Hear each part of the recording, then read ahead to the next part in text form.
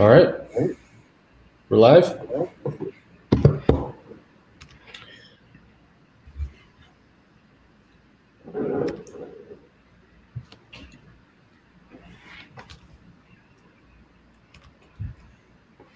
right.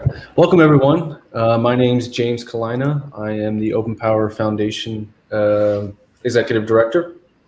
Uh, thank you for joining uh, our first uh, LinkedIn Live event and our first actually streaming event from the foundation. Uh, we're here to talk about what's going on in open source hardware, what's going on in the foundations. today we have Tim Ansell from Google. we have Michael Gielda from Antmicro and Rob Mains from the Chip, uh, Chip Alliance Foundation, the brother in arms at the Linux Foundation here. Uh, so welcome everybody to the stream. And so I'm a little logistics first. Uh, so uh, you can actually post questions in the comments section. Uh, each speaker uh, will be able to see your questions. we are going to reserve time at the end for Q&A. So each speaker might uh, may or may not uh, take your questions uh, at that moment and may save them for the end, uh, or they can uh, take it if it's a, if it's a timely question. So please uh, put your questions into the comments and we'll get to them. All right. So if you don't know who Open Power Foundation is or what we are, so we are actually started in 2013 uh, by a number of different companies, and we've grown globally uh, to over 350 uh, plus members. Uh, so we are a nonprofit. We serve our member companies, but we also serve the open hardware industry in general. Um, originally, we we didn't have a fully uh, open ISA. This, so this was something that we rectified in 2019 to to great applause from a lot of the community. Uh, this is actually a big game changer for us, and it's actually um, one of the things that helped us retool the whole foundation moving forward and, and kind of why we're here today and the kind of projects we're launching is because of this. So our mission at the foundation is to accelerate the adoption of open power ISA, uh, but also open technology, so complementary technologies uh, in general for the open hardware uh, uh community. And we do this through uh, driving innovation through our specifications that we develop through certain work groups, uh, as well as uh, our compliance and verification. So uh, now that we're fully open uh, ISA, you can actually build custom silicon with Power, uh, and we put in place uh, verification and test suites and compliancy so that you make sure that all the software that has already been supported on Power will run on your solutions as well. Um, but the biggest thing that we're going to be talking about today that we've changed in the foundation also is uh, product uh, SIGs, what we call special integration groups. Uh, this is something that's new to our foundation, and it's really meant to enable uh, all of our community to be able to develop uh, using power and using uh, open technologies. Uh, and so, you know, we also are, are, really focused on growing this ecosystem and growing our, our members uh, and, and engaging with them uh, across a variety of different uh, use cases and uh, uh, solving different problems. Um, and we really help in terms of facilitating that community engagement and visibility, both from the foundation perspective and what we're up to, but also what our member companies are up to and how they're positively affecting open source hardware and, and pushing innovation through that. Um, and so power has been around for, for a number of decades now. And so it's a, it's a very mature technology. Uh, and uh, we operate in a, a, number of different industries.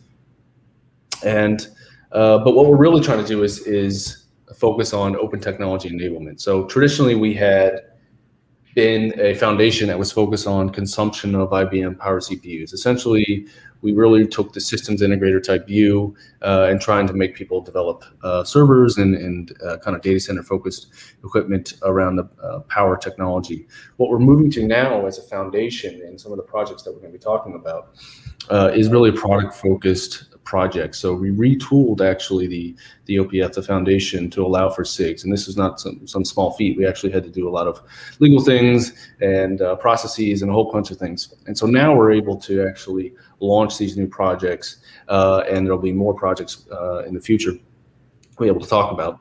Uh, but we also created new rules to allow for non-members to start participating uh, in these work groups as well, which uh, wasn't there before. And so we're really trying to get as many people involved in looking at uh, open open power technology as well as open uh, technology in general that's complementary.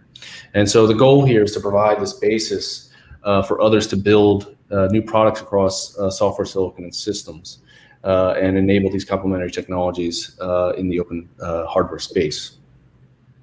our first kind of product SIG that we've launched recently is what we call the Libre BMC. And so for those who don't know, the baseboard management controller is a pretty uh, essential component in IT uh, hardware. Uh, it's pretty much in every single major server on the planet, and it provides uh, remote management and access and control for servers. And what we've done is kind of taken it to its natural uh, conclusion where we're already starting to see the open uh, source software world take uh, take what was run, currently running proprietary solutions running on these chips and uh, created OpenBMC. Uh, so that's an open source firmware that people can uh, participate in collaborate and actually develop on. Uh, what we're doing now is developing a module that will have an FPGA running a Power ISA soft core. And the reason why we did with an FPGA for this project was uh, development. So we want to make sure that we uh, can move fast and can try different things, uh, as well as there's there's uh, uh, around the tooling as well. So um, talking about open uh, technologies that complement the the power architecture and what we're trying to do, tooling is a very big big thing, and by allowing us to use FPGAs and to focus on development of of that we're able to actually incorporate these fully open uh, tools uh, such as SymbiFlow and LiteX. Um, we've also adopted an open source specification for the module itself. Uh, we took from uh, OCP. So we're all about collaborating with different foundations. Uh, and one of the specifications that we adopted for this project is called the DCSCM, the Data Center Security Control Management uh, Hardware Module. So this is a module that would go into a server that would have the BMC on, on top of it. Uh, typically, these BMCs are, are, soldered onto the server. Uh, we're initially going to be supporting uh, Xilinx Artix 7 as well as uh, Lattice uh, ECP5 for this. So we're really excited about this project.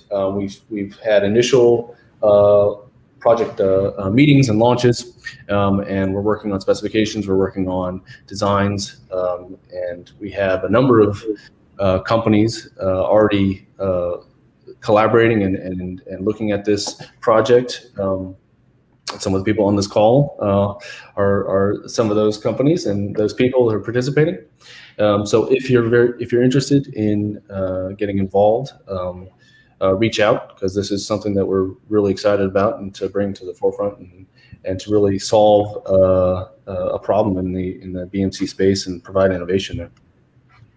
The other thing that I want to talk about is it's not so much um, a, a, project as much as a retooling uh, to allow us uh, for greater flexibility and speed, which is the Power ISA itself. So this is the main work group within the foundation, and we've retooled this work group as well and have relaunched it, and it's it allows for participation of members, but also we've allowed the ability for non-members to actually participate through certain processes and certain means.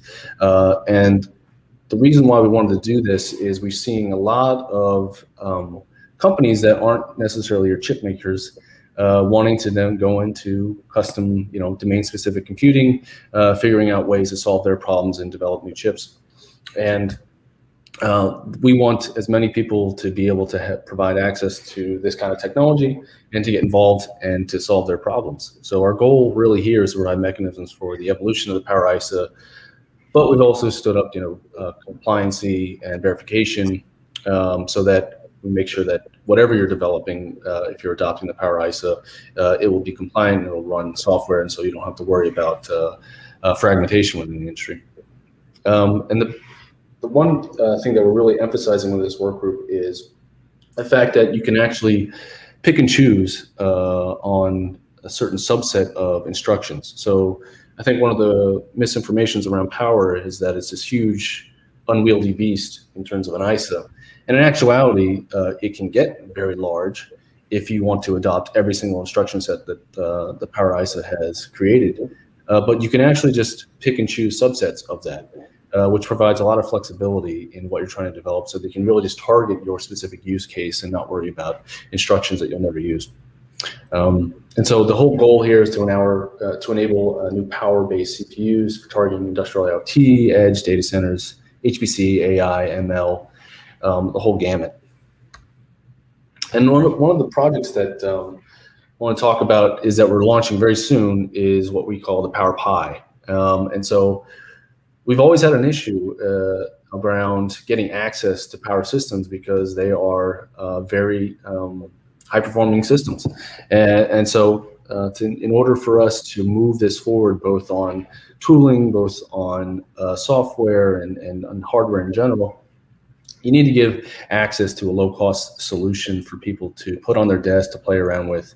Um, and so we're we're kickstarting and launching this new project, and this is kind of the aggregation of all the different things that we're working on here at the foundation.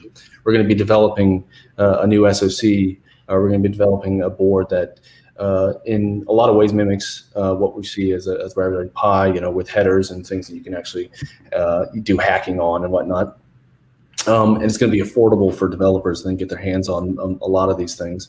Um, and then we're going to be providing uh, platforms uh, for them to uh, uh, test benches and, and, and, kind of tooling around it.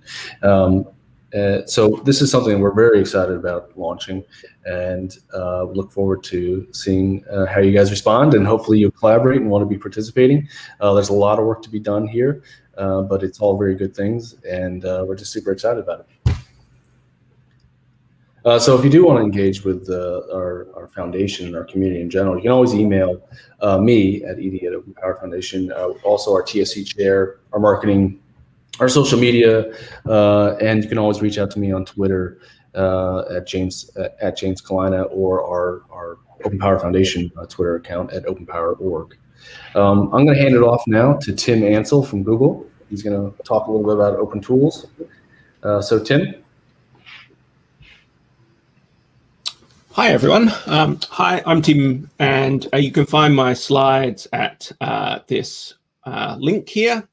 Um, and uh, Google is interested in uh, open source hardware toolchains uh, because really everything is about this loop. Um, the loop of going from an application to some type of description to an implementation and going around that loop as fast as possible is really a key to being successful and create uh, you know the most value in the shortest amount of time. Um, generally we find it very hard to understand something until it's actually running in production. And so we want to make that as quick as possible. Um, this loop, though, uh, while it looks simple, hides a lot of complexity. Um, and we're very interested in seeing all these things uh, be fully open source and accessible. Um, so Google is investing in open tooling, and we have a long history of investing in open tooling. Um, we invested very heavily in things like machine learning with TensorFlow and Kubernetes with cloud. And so we're investing in open source hardware tooling because we believe it enables innovation, it enables new experiments, and enables new products. Um, the my team at Google is working on um, uh, four different primary prongs um, in this area, and we have a uh, reasonably large team working on that. Um, it consists of Googlers, contractors, and a few others, um, open source developers. Um, System Verilog is a very important language from an industry point of view. And so we've been focusing on improving System Verilog support in open source uh, tooling. Um, it kind of fits here. And Henner Zeller on my team has been given the task of making System Verilog uh, first uh, class citizen in all open source tools. Um, this is interesting and it helps both ASIC and FPGA tooling. And it also heavily helps the simulation and testing um, tools as well, which are used again in both. Uh, the system Verilog stuff has two primary prongs. Um, of these two primary prongs, uh, One is a system Verilog parser called Verible. Um, this is a tool mainly targeted at developer tooling. Um, you can think of things like Clang format, CPP lint, code search, all that type of stuff. Um, we also have another uh, System Verilog uh, parser that we're investing in called Surelog that's targeted at both simulation and synthesis. You can kind of think of it as the front end for um, like C++. And so uh, the goal here is to share as much as we can between uh, different users. So we also have a thing called the UHDM, which is a uh, abstraction of the front end. It's not supposed to be an IR. It's more like an advanced abstract tree. Um, so that's the system Verilog stuff we're investing in, but we're also investing on implementation of uh, systems, both in FPGA tooling and in ASIC tooling. Uh, in the FPGA tooling, we're investing heavily in existing open source technologies like Yosys, Verilog to routing, and other um, uh, similar technologies. And you might know this externally as the SymbiFlow project. Uh, the SymbiFlow project aims to be fully open source. It aims to be multi-platform, vendor neutral, and have a growing community around it you can kind of see the important parts of this project uh, listed here. And we're investing in multiple different groups in this area. Um, we've gotten to a stage with SymbiFlow where we have actually quite decent support for multiple vendors' parts. Um, we have support for Xilinx FPGAs, um, in the 7 series, we have support for Lattice um, parts, and we have support for QuickLogic parts. Uh, definitely microcontroller sized projects are 100% uh, doable. Um, you can think of things like, uh, you know, MicroPython, Zephyr, TensorFlow Lite for microcontrollers. Um, we can also do pretty well uh, what I call embedded Linux size projects. Think of your Raspberry Pi Zero and similar type class. And we're also investing in the ecosystem around this. Uh, this is things like LiteX and soft CPU, especially RISC-V and Power. Um, you know, things like PCI Express, USB 3, um, pretty much anything that allows you and every system uh, needs to get stuff done. Um, we're looking at how can you build an ecosystem where most people who are doing hardware accelerated development don't need to worry about the complexities of memory or how it's connected to the computer, whether that's Ethernet, PCI Express, uh, USB 3, or anything else. Um, when we first started this, FPGA vendors were pretty skeptical about our work. Um, but that's starting to change. Uh, QuickLogic became uh, the first vendor to actually officially support and invest in open source tools with um, their QORC initiative and their QuickFeather development board. But even the big guys are starting to um, understand the importance of this. Uh, we've been collaborating with Xilinx around, for example, releasing as much of their Unisim libraries as they can under open source licenses like Apache 2. And we're now collaborating with them on a open source FPGA interchange format to allow people to create uh, place and route tools for their hardware um, very easily.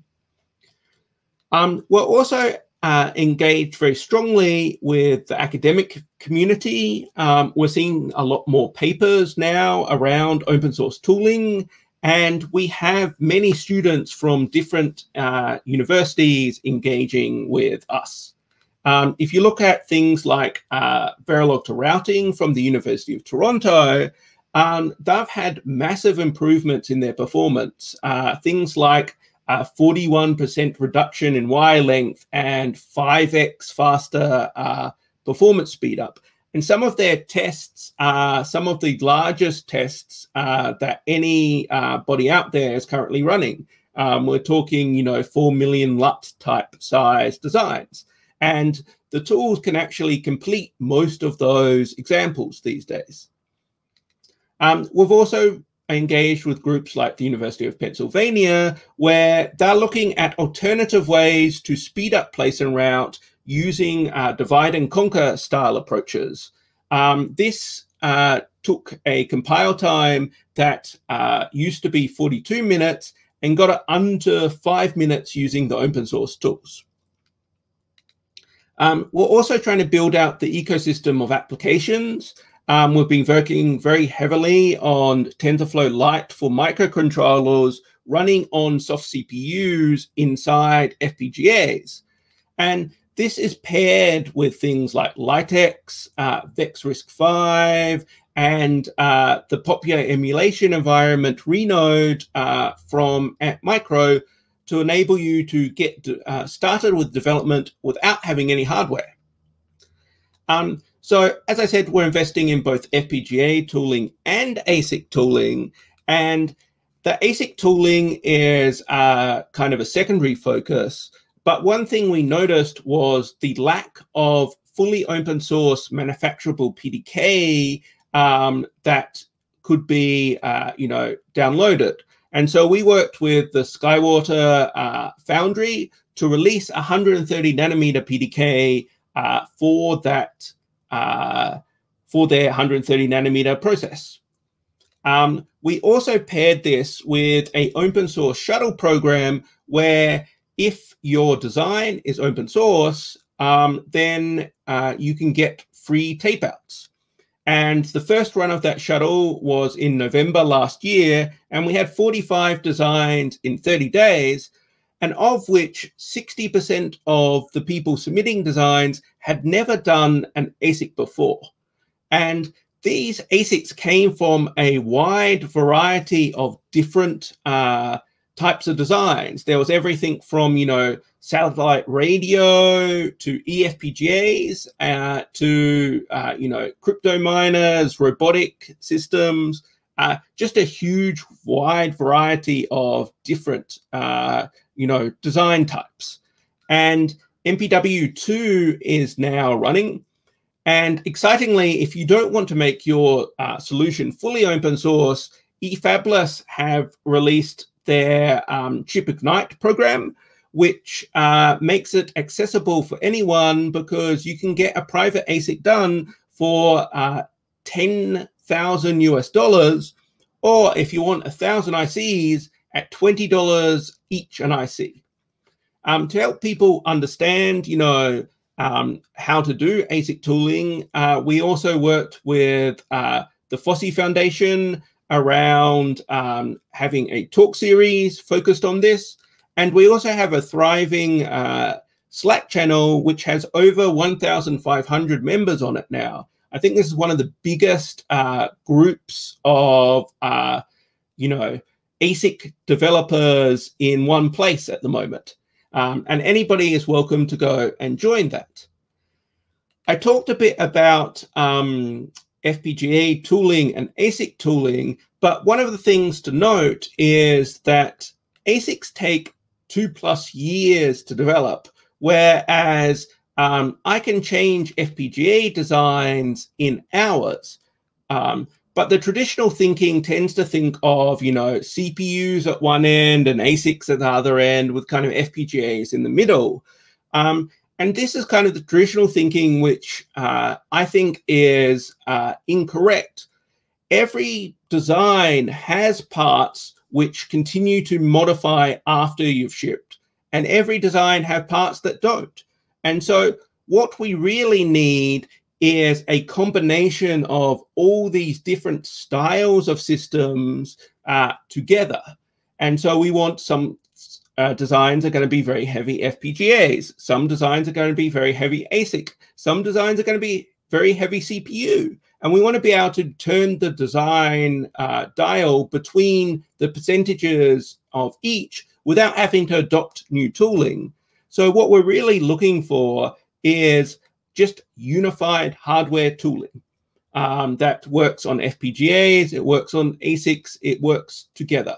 Um, and so uh, that's kind of where we're heading, and we're excited to see how we can use that in things like the Libre BMC project. And we kind of see this as uh, the same way, you know, TensorFlow changed machine learning and Kubernetes changed the way cloud was doing. Um, we're hoping this investment changes the way hardware development is done with a strong core focused around open source tools. Um, so I invite everyone to come and contribute. Um, I've personally sent lots of people hardware um, so that they can contribute. And there's a wide variety of different types of uh, ways to contribute from, you know, uh, doing things like C++ profiling, Python scripting, you know, documentation, helping the community, just trying new things is something we need people to try. Um, so like I highly um, encourage everyone to uh, come and uh, you know work with us on this exciting stuff. Um, it's going to need help from everyone and ideas from everyone to really like spark a new innovation of um, hardware tooling that has never existed before. And so I believe uh, next up is um, uh, Michael Gielda from Antmicro. Um, is that correct, or have I got that wrong? No, that should be me. Um, so I'm going to hand it over to uh, Michael, who's going to give some interesting, uh, you know, uh, presentation. Okay. Thank you. Thank you very much, Tim. Uh, you've obviously mentioned a few things I wanted to speak about, so I'll just skim through them later. Uh, let me take over the screen and try to share my slides. Uh, just don't get scared with how many tabs I have open at all times. Um, okay, so let's do entire screen, I guess. And action. Hopefully this is visible. Uh, so yeah, I want to talk to you a little bit about open source hardware and practical applications, since I believe momentum is best visualized with, you know, kind of practical stuff that you do. Uh, and of course, Tim has mentioned a million things already. Hopefully I can add on top of that. Uh, so uh, a little bit about us uh, as a company, we work with different topics: hardware, software, AI, uh, NFPGA, and ASIC stuff. And in all of those contexts, we also develop tooling. Uh, so Antmicro kind of does lots of things. And what are these things connected with? Well, open source. Um, and if you want to kind of get a practical view of what we're doing, just go to our website and scroll down to the technology website. You'll see a vast array of you know different things. And again, open source is the common theme so much so that we have uh, recently launched open source portal opensource.antmicro.com i guess i should have included the link uh, that'll kind of showcase some of the things we've been working on uh, the first thing I wanted to uh, talk about is open source hardware that we've been developing, uh, um, both in the open power context, but also more generally speaking. Um, First up is the Libre BMC. That's already been mentioned twice today, and uh, that's a very practical problem. Um, you need, you know, your service to be controlled, and the BMC, the board management controller, is what does this thing. Uh, but if you want your server to be controlled and booted and and and monitored by a certain piece of hardware, you want to make sure that it's a secure and open and flexible and modifiable a piece of hardware. Uh, so our goal in the Libre BMC work group is to develop a platform that has both open software and hardware and also gateware uh, or FPGA IP, as other people call it, uh, that allows you to fully control your BMC. This hardware has been developed by Antmicro in collaboration with Google, and we've adopted the Open Compute Project's DCSCM specification, and that allows us, of course, to stay compatible with an upcoming, you know, range of uh, server products. And uh, we're going to be using uh, the Open Power architecture, of course, because it's the Open Power uh, uh, foundation that's driving this. But of course, uh, um, this being an FPGA, uh, it can be programmed with various things, and, and most likely will have RISC-V variants of this as well. Uh, and generally speaking, this is a highly collaborative project, so uh, obviously, much of this work is reusable in different contexts. Uh, but OpenPower has the, de definitely primary leading role in this. And of course, uh, as such, it being uh, um, uh, an FPGA that's supported in the SymbiFlow toolchain, it's an ideal target for doing completely open source end-to-end -end development, hardware, software, tooling, you name it. we already have the Artix 7 version manufactured and we're currently bringing it up. Uh, it has a fairly decent uh, FPGA. It's 100 kilowatts that you can play around with. Um, and you can read more about this board uh, uh, in a dedicated blog node. There's, of course, a GitHub repository that you can just download this from.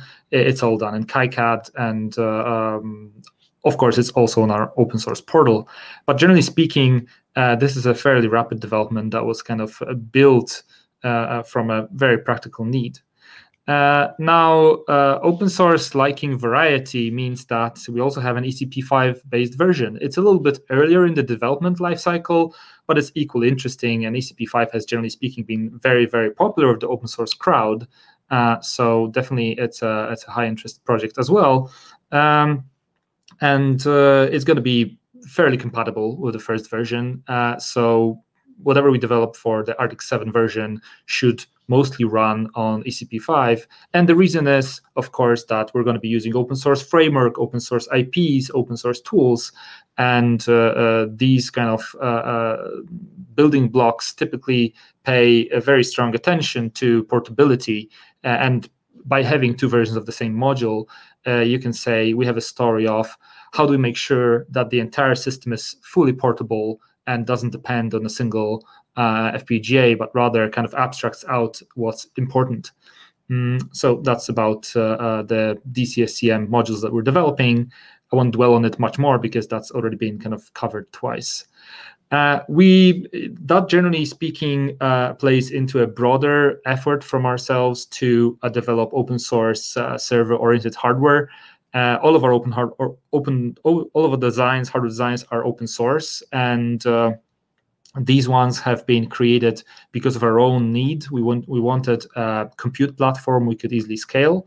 And so um, we developed this uh, project called scale node which allowed us to uh, plug in a lot of raspberry pi compute module 4s into our server room because we need a lot of compute for different projects that we're developing.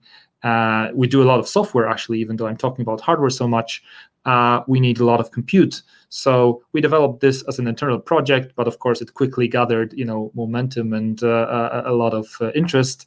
Uh, but we also saw that there's an opportunity uh, to put RISC-V in the server room, and so we developed a SOM that's compatible with Compute Module 4, but it supports uh, the recently released StarFive SoC that you also might know from the BeagleV.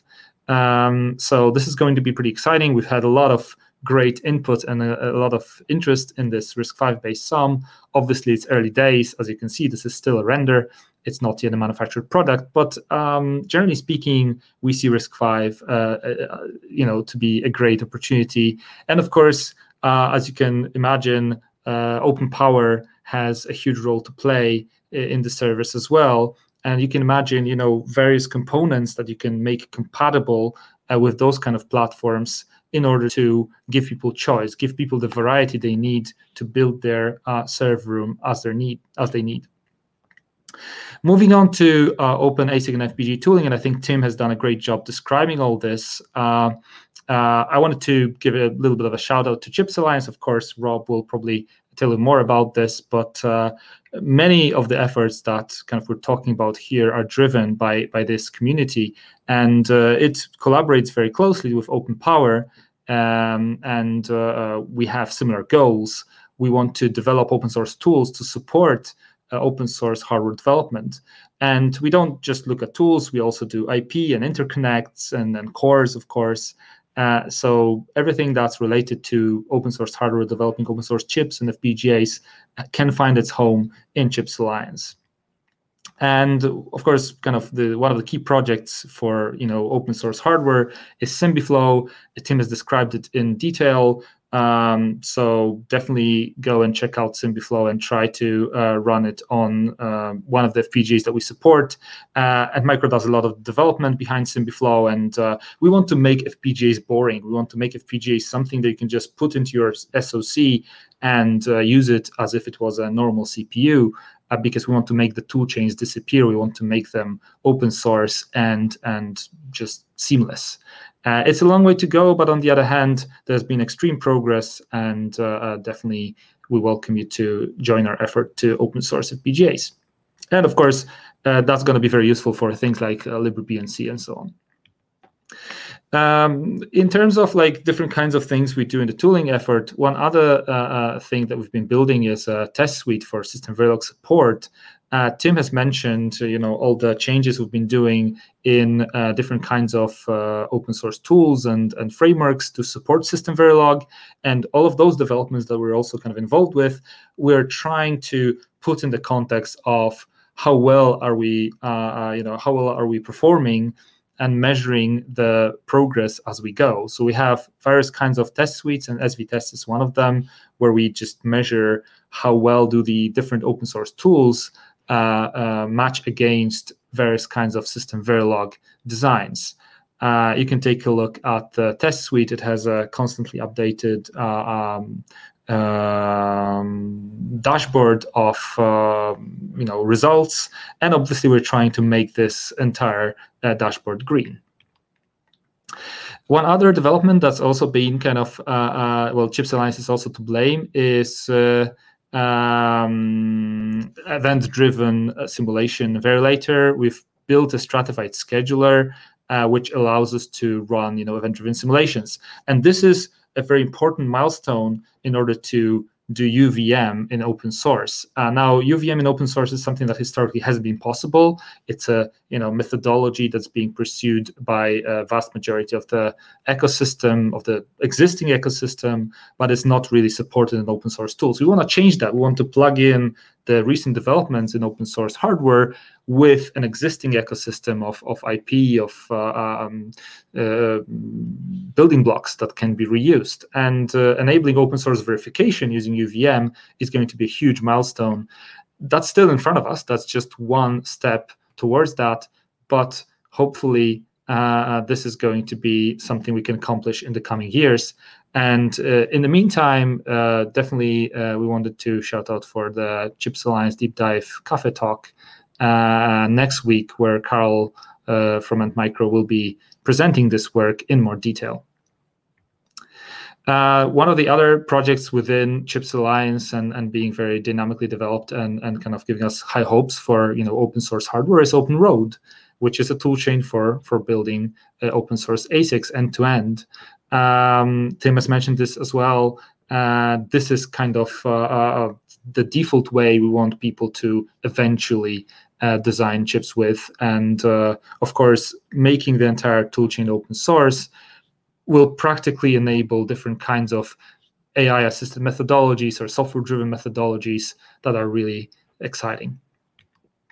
Uh, one other thing uh, that we've been developing for very you know practical reasons uh, in this space is called Renode, uh, which is an open source simulator. And this is actually a tool that we developed for our own needs. It's it's a tool that we built because we felt it was needed, and only afterwards we realized, okay, that's something great that we should potentially open source. And indeed, uh, it turned out that it's a great idea because a lot of people uh, over the years a lot of people adopted it. Um, of course google's tensorflow lite team uses it but so so is microchip or intel or microsoft and many others. Essentially everyone developing iot systems should be working in simulation should be uh, testing their software without necessarily having access to hardware. Uh, we you know enable cloud driven CI for embedded systems. We enable a sharing of results and knowledge and, and testing of metrics and various kinds of uh, uh, um, things that software developers are used to, but hardware developers or embedded developers have historically not been able to do. Um, now, moving on to yet another uh, uh, topic, uh, there's an open source DDR memory controller that we've been working on as a very practical example of you know uh, how open source can also transform you know IP itself, not just tools, not just you know hardware boards, but uh, um, digital design and and IP cores. Uh, the background for for this development has been that you know uh, Google wanted to build an open hardware and software DDR memory research platform um, and so we we delivered that. We developed a highly configurable and modular uh, uh, platform that includes both hardware, software, and FPGA IP, and that's based on LiteDRAM. Um, we developed LPDDR support for it because that was the main focus of the project. Uh, we also have we are developing you know DDR5 support, which is in progress now. And uh, of course, uh, we created this board. That's the main research platform Uh, that's what it looks like. Um, it's a pretty interesting platform. Uh, it kind of allows us to measure the vulnerability of different memory chips to Rowhammer attacks. Uh, the memories on modules so that you can easily replace it and test various memories with the same uh, FPGA platform. And we're working on, of course, uh, enabling more test beds for memories. And uh, yeah, this research is ongoing, so it's it's pretty awesome. Uh, you can read more about both the hardware platform and the link that you'll have access to later. And uh, in fact, the results of this entire story are already being published. Uh, we have this uh, half double attack that was uh, you know discovered using this platform. Uh, and this uh, is a very interesting read. I encourage you to go there and read Google's write up on, on the half double.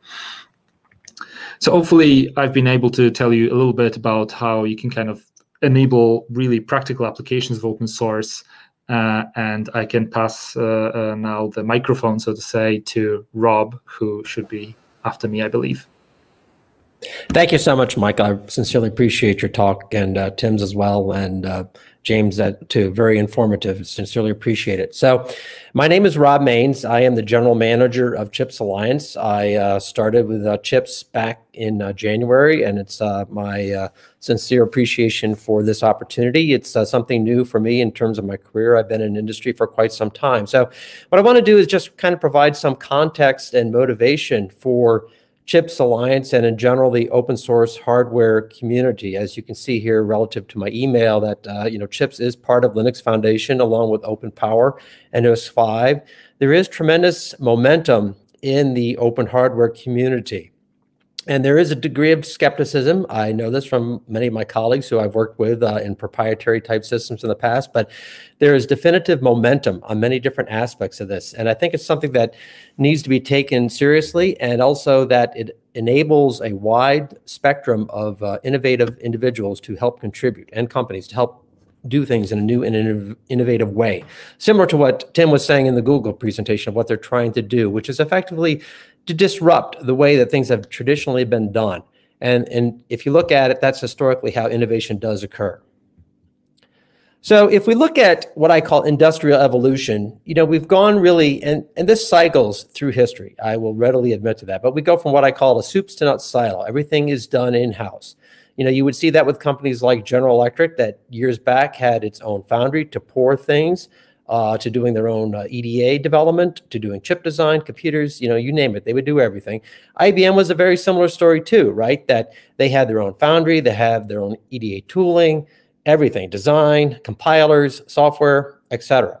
To where now it's more of what I call a supply chain management type of environment. In other words, just-in-time delivery. You rely upon a contract a foundry, of which there are several, and they've done a great job in terms of developing that and they work closely with their partners. And companies manage that appropriately right? So there will be different suppliers to provide you with like chips as an example. Could be uh, eda tooling it could be software applications etc right? So that type of thing. But now we're also seeing where we're moving more towards an open collaboration environment. And you have heard that today in the talks provided by by the team.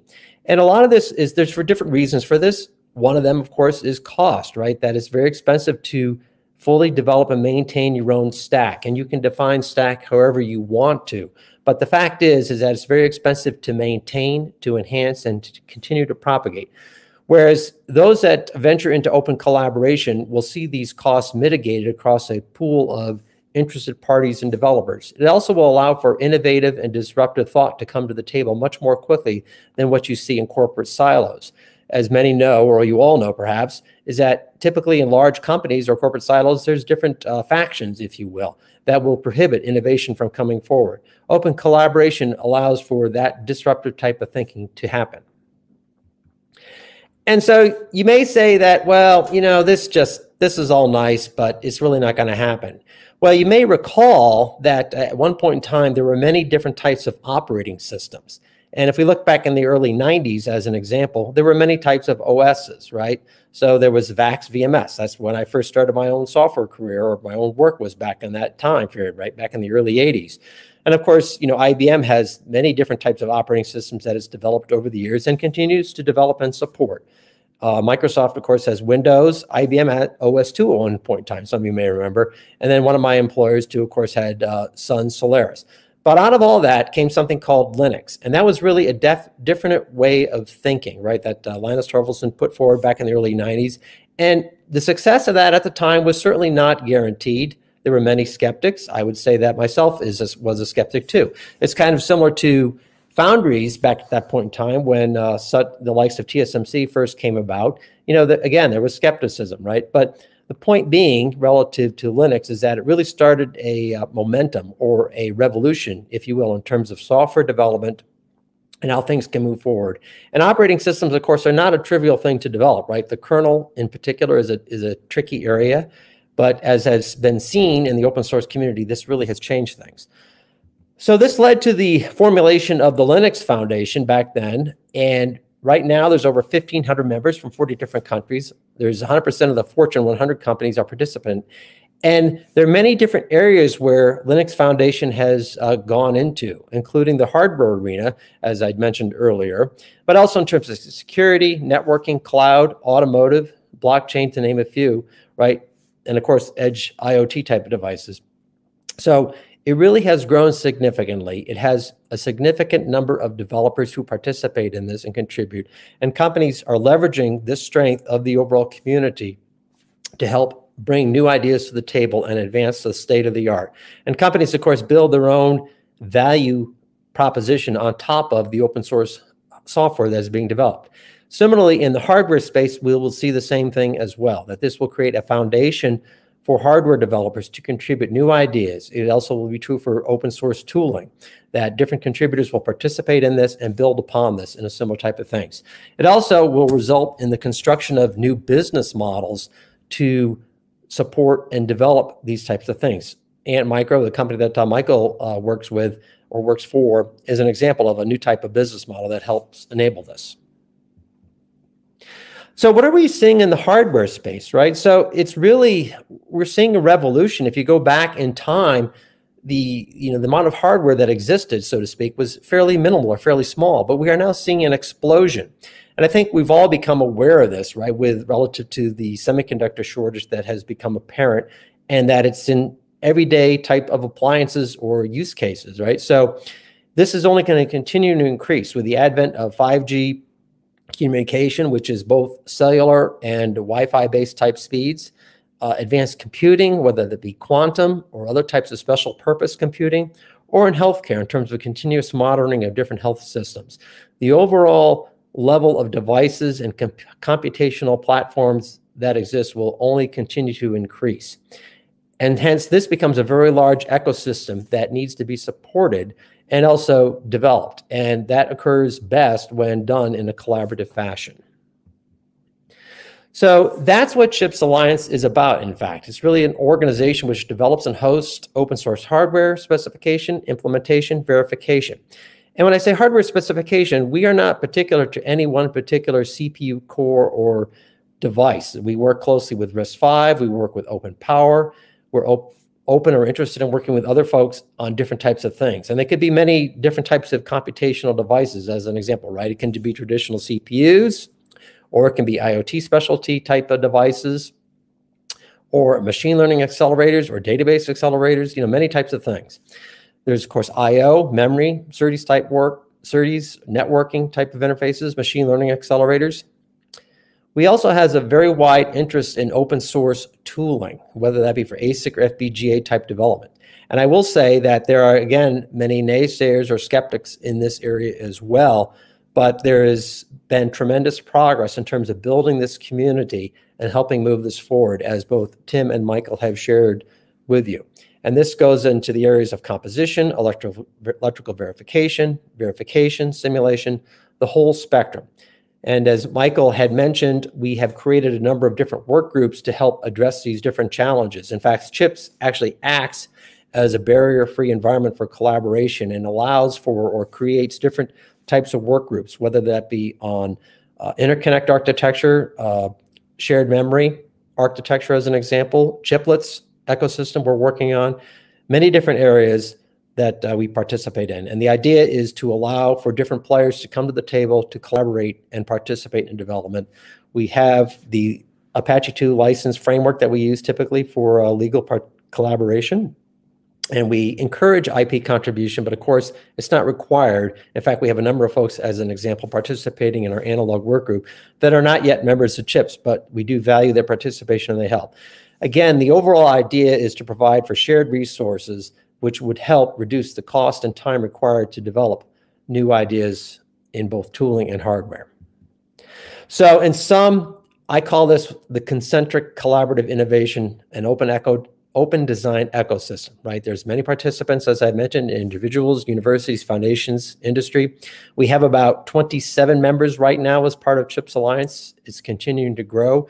We get different interests you know, from many people as this starts to take forward. And again, this goes all the way from specification out to standards. And of course, a part important part of that is the PDK, as Tim mentioned earlier, and also tooling to allow us to develop different types of things. And we welcome contributions on all fronts. So with that, I will turn it back to James uh, for questions and comments. And Tim, great talks. Uh, so I actually just wanted to kind of pose some questions here we can all talk about. Um, you know, Rob, you mentioned around this transition from this siloed approach now to an open collaboration. Um, how is that? How is that actually going? Like we have we have these foundations. We're, we're seeing it in real time right now. We're you and I we're representing different uh, foundations. We're collaborating with different companies. Both of these companies that are on the call today actually operate in both of our foundations. Right. Um, so how is this going? How is this going to accelerate? How can we get this moving in, in a way that uh, we can really see some progress in open source hardware space and ecosystem? I think that's a great question, and uh, you know, I kind the analogy I kind of use is I, I, downhill ski amongst many activities, but you know, it, it, it's kind of a little bit like looking down a double belt black diamond slope, right? And you think to yourself, well, I think I can do this and I think I'll come out okay, but I'm not really sure. But so my point is, is that as you see momentum build upon this, you will start to see other participants uh, join in this. And I think we are on the brink, if you will, of seeing that kind of momentum. I think we're seeing that with Open Power. I think we're seeing that with RISC-V. And particularly as the ecosystem grows in terms of the number of computational devices, and I'll use that term very broadly, in the environment that we exist, that it's going to really require and necessitate collaboration amongst different hardware developers and leveraging each other's strengths and picking up different pieces that are available as opposed to doing it entirely in one company. I mean, I think as you know, the cost involved for the NRE, the non-refundable engineering cost to build product entirely by yourself is quite huge. The number of players that can actually do that are very, very few, right? So I think that as folks have different ideas and want to try to help move this forward, they're going to look to the open source community to help them. Yeah. yeah. I do want to call out that, um, you know, uh, there is a lot of people in the community already doing a lot of uh, stuff. Uh, people like Enjoy Digital, who originally mm. started LiteX and LiteDRAM uh, related things. Um, in the tooling space, you've got groups like the Open Road Project, which has been funded with DARPA and uh, mainly hosted at UC San Diego. And then you've got uh, groups like uh, YosysHQ and um, you know, Claire and uh, other people working on like Yosys and those tooling. Um, none of this stuff is exclusively uh, developed by the people here. Um, almost all of it uh, exists in a community that has, uh, you know, uh, hobbyists, professionals, big companies, small companies, um, a wide variety of, uh, you know, different people um, who are interested in different uh, different stuff and different uh, reasons. Yeah. Um, I, I, I, think that. Oh, sorry. Uh, one of the things that we need to be be aware is that you know, kind of this will take time And uh, I agree with Tim that you know, kind of, there's there's a lot of people involved. In fact, it's it's almost hard to mention everyone, and uh, mm, we'll need to find the you know low hanging fruit and see the openings in what can be done with open source. And not everything can be done with open source today. Everyone always keeps pointing that out, right? And and that's ne- never been our claim. Uh, but what we should be saying is much can be done with open source, more than you think. It's less than you would hope for, but more than you think. So how can we uh, enable and find those applications and focus on uh, the stuff that's uh, right behind the corner, you know? Uh, and of course, like we should have this grand vision in front of us where we want a lot of things to be open source because that'll give people more control and freedom and collaboration. Uh, but uh, even today, many of the things that you might think are, are not yet possible open source actually are, or at least you can kind of set yourself up so that you can use open source tools, you can use open source IPs if needed. Um, it's a, just a matter of you know uh, a little bit of goodwill sometimes and uh, uh, future-oriented thinking, which is hard because of course people are used to doing uh, what they were doing before and you can't really blame them for for kind of continuing on the track that they've known for years but we should definitely uh, go and, and, and calmly and uh, kind of positively explain uh, what is indeed possible and and that's what we're trying to kind of show with the practical scenarios and use cases and projects that that we're doing using open source I would add um, Libre BMC is a good example of that. Uh, you know, it brings together the open source tooling, it brings together Linux, it brings together OpenBMC. Um, you know, it's based a lot on the uh, work uh, Litex has done to be compatible with Linux. Um, you know, it's using a lot of stuff that was originally developed for RISC-V, but is now being reused uh, with the Power ISA. So um, there's a you know a lot of different pieces to come together uh, to make this project work. I was just going to add, I think what folks will see is that there's a lot of enthusiasm and motivation in the community to make these things successful. So many, if you will, naysayers will say, well, that just isn't possible or you can't do that. And what I would say is in my ex brief experience so far with uh, Chips Alliance and the open source hardware community is that many things are possible and people are making things happen. And even if there are roadblocks that are encountered, there's a tremendous amount of ingenuity in the community that will help circumvent those challenges and make forward progress. Tim, you, I have a question. Do you, you mentioned DARPA and the kind of some of these government contracts? Do you what role do you see the government's playing in open source hardware? I mean, it's it seems it's when people think about investments, uh, it's hardware tends to be magnitudes of order more than what they tend to think of. Uh, do you see governments being playing a more pivotal role in open source hardware than say open source software? Um, I think they can. Um, whether or not they are at the moment is a very different uh, question. Um, when you look at some of the investments uh, governments all around the world are doing in, you know, uh, trying to do new hardware foundries, you know, you're talking billions of dollars. Um, if they just took a small percentage of that and invested it in um, an open source ecosystem around those foundries, I think we would see a um, massive change in the capabilities of hardware.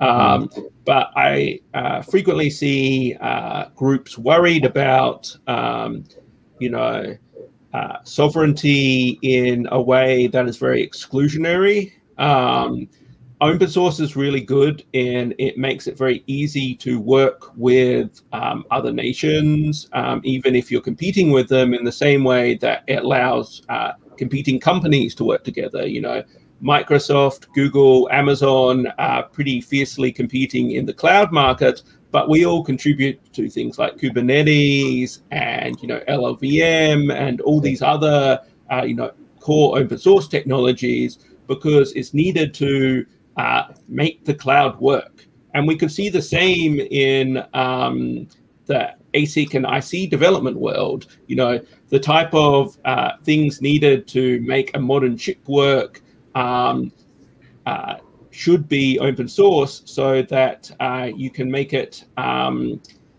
uh, easy to do the boring stuff that everybody needs to do. Uh, like everybody needs to talk to memory, storage, do input and output. Um, they might have some type of unique uh, thing that they want to do, but at the moment they have to do all this other stuff as well. How do we make it so that it's very easy for them to do just a little bit? Um, right. And uh, you know, there's kind of this joke that at the moment a software startup is, you know, anybody with a laptop and fifty dollars of cloud credits. Um, you know, whereas a hardware startup is, you know, um, fifty employees and a hundred million dollars in capital. Um, the type of innovation you can get done when that with that disparity is much much smaller. Um, so how do we get it down so that anybody with ten thousand dollars is you know a hardware startup? Um, and I think that's what we're trying to do. And I think governments could do a lot here. Um, they could invest very heavily in improving open source tools and, you know, uh, making these accessible and uh, collaborating more together. Um, I think uh, would be very helpful here. Um, I think uh, open source has been very successful in like the EU because of the kind of forced collaboration required between, uh, you know, uh, different countries in the European Union. Um, yeah, open source has enabled groups that otherwise would uh, be unwilling to collaborate to collaborate, um, which has made things much better in um, uh, that environment. Yeah, I was just going to say, I saw, I know that, um, as maybe many do, but that the U.S. government just passed a quarter of a trillion dollar funding bill last night relative to uh, hardware technology and what goes into that. And so I think it is a good question to see how that impacts the overall landscape. I agree with Tim that, you know, trying to, uh, so to speak, shut down different collaborations or enabling in barriers probably is going to be more uh, destructive than constructive, if you will. I, I, mean, I appreciate the national security concerns that uh, different entities have, but uh, in general, it seems that the best innovation again comes from collaboration and that's where disruption in comes. And so i think it does come down to how to build a model that is su successful for that. And uh, one thing is like there aren't many people in the world who can afford to invest a couple of billion dollars in foundries um, you're not going to have a small group uh, you know uh, raise a billion dollars to create a foundry, you know, creating foundries foundry a five year effort type thing, you know, uh, there are massive barriers to this anyway. Um, very little of it has to do with the technology side of things. Um, you know, well, um, we're we're over time right now, but there is one question uh, from Alan Cantel. It says, uh, "Do you all see a need to cleanly decouple compute from memory, storage, and I/O with a common chiplet type of low power interface?" Michael, is, is this a question for you? That's somewhat of a different theme.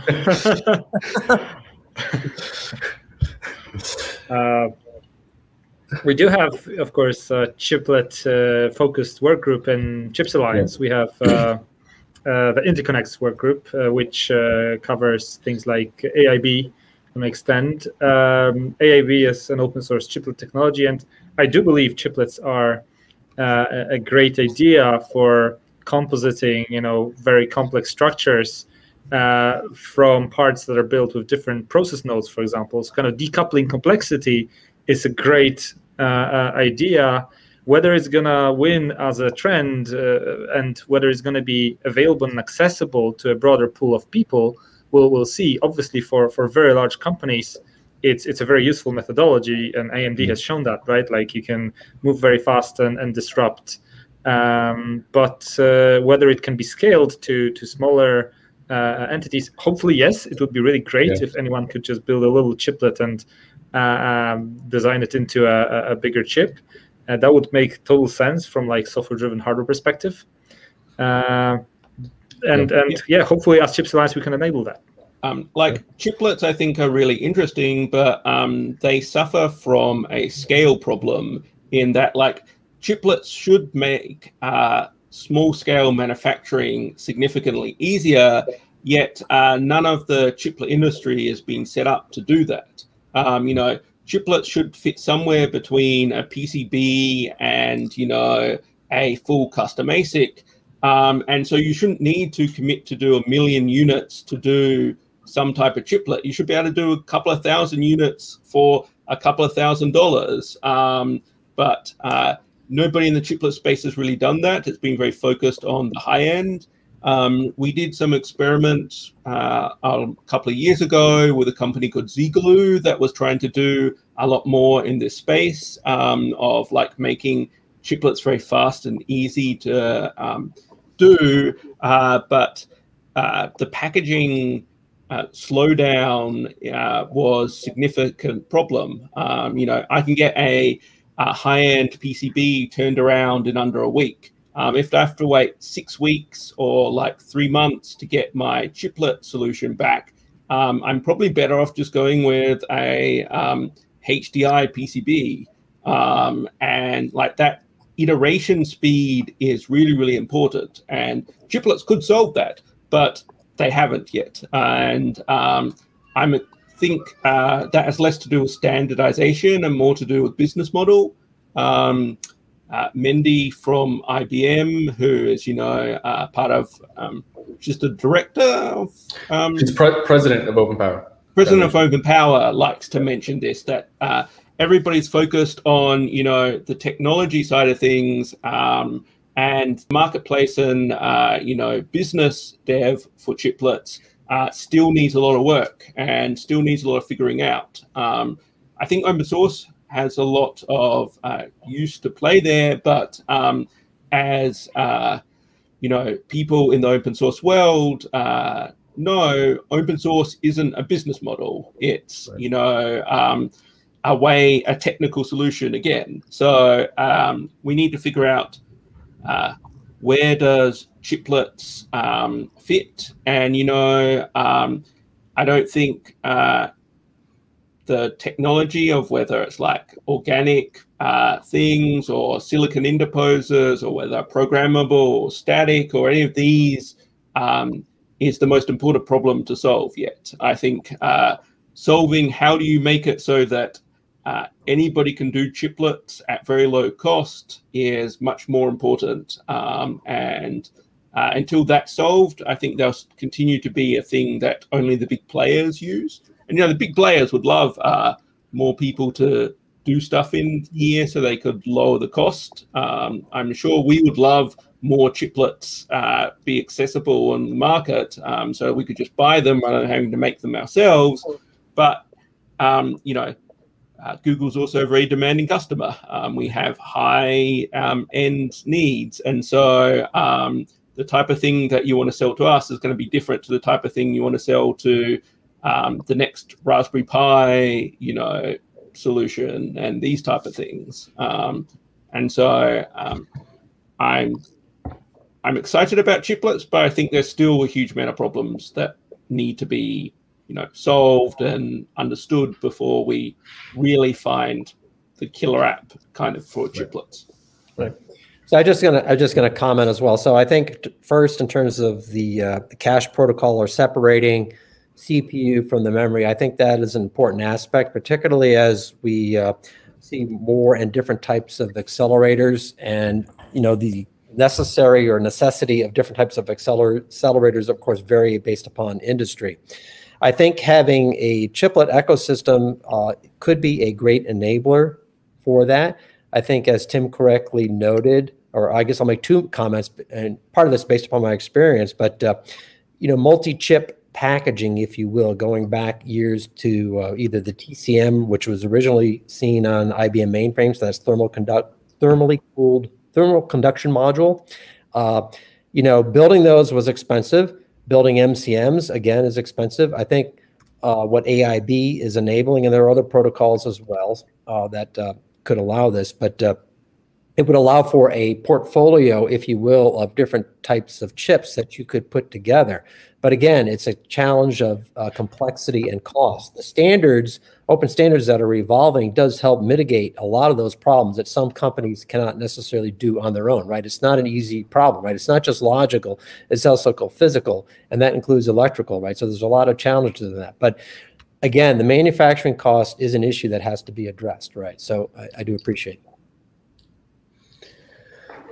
Well, with that, uh, I know we're over time here. Everybody, thank you so much for uh, joining and uh, presenting uh, your take on open source hardware and what's going on, what you guys are working on. Uh, looking forward to collaborating with both uh, Michael and Tim and Rob, obviously. We'll see much more of each other in the future um, as you guys stand up more work groups, and we do too. Um, this is all about open collaboration and to lower those costs, find those low hanging fruit, and solve those problems. So, thank you again for everybody for joining uh, and viewing. Talk to you soon. Thanks, Thanks James. Bye bye.